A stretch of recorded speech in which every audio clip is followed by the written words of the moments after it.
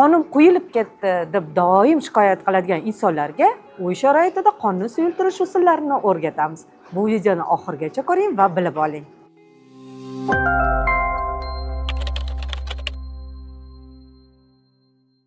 Hammamizga ma'lumki qon nima vazifani bajaradi? Qon organizmga tushgan oziqaviy moddalarni kerakli organlarga to'qimalarga hujayralarga yetkazib berish vazifasini bajaradi. Qon tomir faoliyatini buzilishi buni ham hammamiz bilamiz infarkt yoki insultga olib keladi. Qonni quyuqligini suyultirish tabiiy ya'ni uy sharoitida ham bajarish mumkin. Man sizga buni bir necha yo'llarini o'rgataman. Birinchi yo'li bu suvni bir kunlik uch litrdan kam bo'lmagan miqdorda iste'mol qilish. Ertalab uyg'onasiz.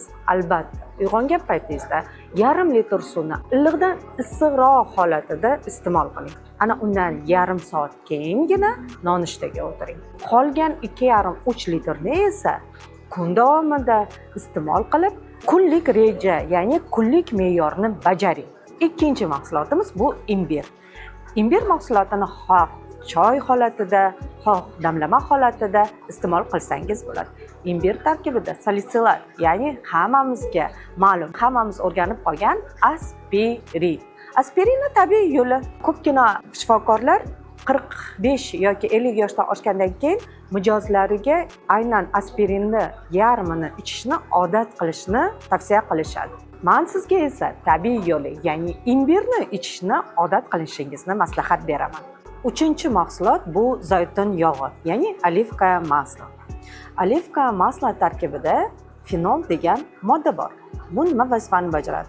Bu antikoagulyant bizni ona tabiatimizni o'zi o'zimizga kerakli mahsulotlarni tabiatni o'zidan iste'mol qilishni buyurgan. Organizm bu biologik modda hisoblanadi. Biologik moddaga faqatgina biologik modda kerak ya'ni oziqa kerak. Zaytun yog'ini qanday iste'mol qilish kerak? Oddiy salat ya'ni ko'katga boy salatovoy listya deng pomidor bodring har xil mahsulotlar bilan odat qilgan salatlarimizga qo'shib iste'mol qilsangiz bo'ladi. To'rtinchi mahsulot bu sarimsoq piyoz.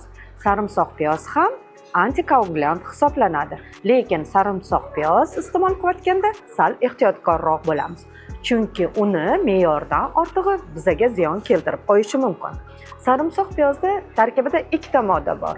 Bu alin и alitsinaza ana ikkita o'sha mahsulotni ezilgan oqibatida alitsin degan mahsulot kelib chiqadi.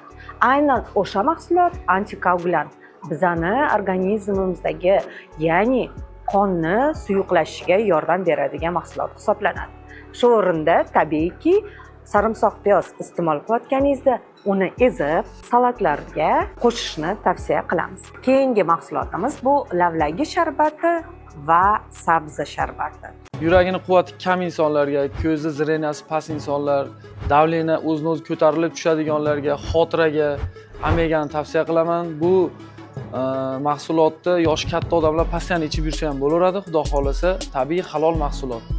Lavlagi sharbati va sabzi sharbati. Bu qon tomir faoliyatini kengaytirishga yordam beruvchi mahsulotlardan biri hisoblanadi. Yana oxirgi mahsulot bu omegani ichishni odat qiling. Ana shu holatlarda sizda qon tomir faoliyatini buzilishiga olib kelmaydi va albatta qonni bir me'yorda quyuqlashmagan holatda yurishingizga yordam beradi. Bu sizni infarkt va insultdan asraydi.